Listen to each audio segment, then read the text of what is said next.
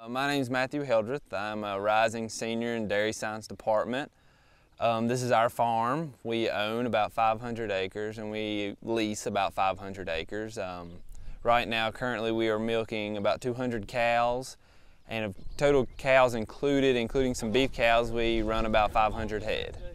You know, my grandfather and father like uh, go to school, get an education. So if dairy farming doesn't work out, you have something to fall on. So, um, but I still wanted to do dairy science because uh, I just love to love to farm, and um, dairy farming is kind of like the passion, you know, of our family. That's what we've always done, and and I wanted to try to continue it.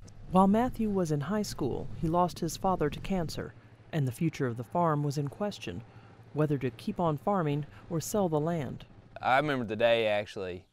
We're uh, it was actually one one morning, and my father just passed away and uh, we really didn't know what to do. We really uh, had to make a decision, and my grandfather, you know, brought it up, and I was like, well, we can't do that, you know.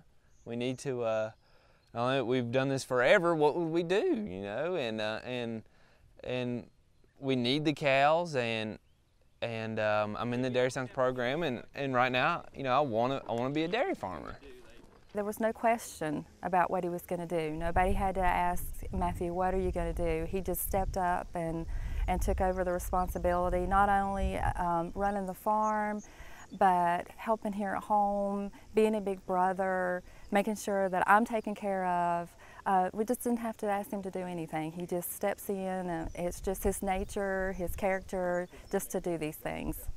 But Matthew's life has a dual focus running the farm and getting his college degree at the same time. The thing about Virginia Tech is it's almost like he has a family there too. Um, his uh, counselor is actually the same counselor or advisor that my husband had, so he has taken a great interest in him. So when he's there, I know that he's happy and being very well taken care of by his family there as well. So I don't really worry that much um, because I know that he's happy both ways. And so when he comes home, he does what he needs to do here, and when he's at school, he's happy there. So I think it's a, a, a happy medium for him.